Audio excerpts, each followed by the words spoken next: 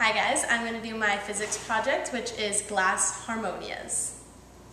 I will now show you the notes while you can see the tuner. It's a G, B, C,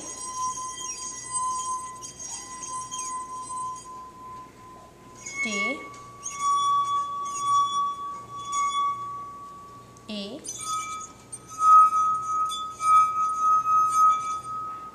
F,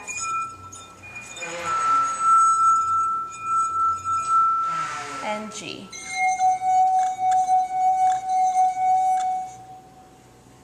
I'm now going to play Ode to Joy for you.